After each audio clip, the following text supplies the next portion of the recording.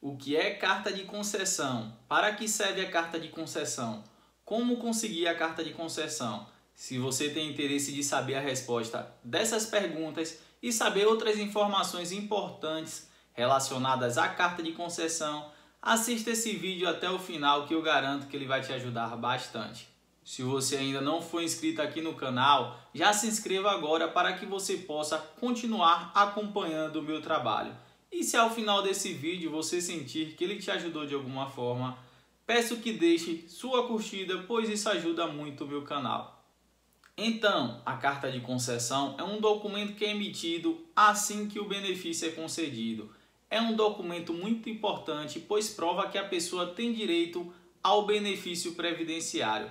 Na carta de concessão consta as informações pessoais do segurado e consta vários dados referentes ao benefício que foi concedido, como a data de entrada do requerimento, a data de concessão do requerimento, o valor do benefício, a data de início do pagamento, o local que irá fazer o saque e consta também a memória do cálculo. E a memória do cálculo é todo o cálculo que foi feito para descobrir o valor mensal do benefício. A carta de concessão será enviada para o segurado através dos correios e tem um prazo de até 30 dias para chegar no endereço que foi informado no momento que foi feito o requerimento do benefício. Mas se a pessoa não quiser esperar, pode estar emitindo a carta de concessão pelo meu INSS. Vou deixar um card no final do vídeo do passo a passo do que deve ser feito para emitir a carta de concessão pelo meu INSS. Vou colocar na tela um modelo de carta de concessão de uma aposentadoria por idade para vocês verem como é.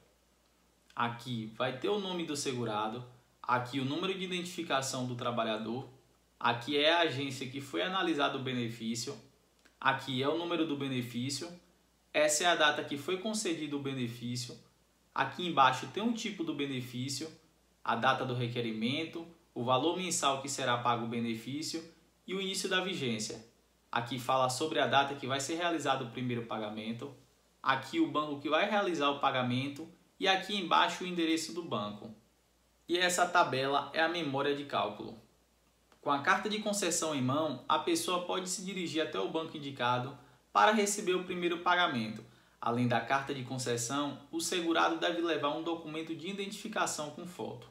Se a pessoa não quiser receber no banco indicado, pode estar recebendo em outro, mas para isso é necessário fazer um requerimento. Mas não é aconselhável, pois a análise desse requerimento costuma demorar um pouco. A carta de concessão tem validade jurídica se a pessoa achar que o cálculo do benefício está errado, achar que deveria receber mensalmente um valor maior do que foi concedido, a pessoa poderá usar a carta de concessão para pedir uma revisão do benefício no INSS ou através de uma ação judicial. Se a pessoa tiver mais de um benefício, vai ter mais de uma carta de concessão e nas cartas vão constar as informações relacionadas ao benefício indicado. A carta de concessão não tem validade, pode ser emitida pela internet quantas vezes quiser e independente da data que foi emitida, as informações sempre serão as mesmas.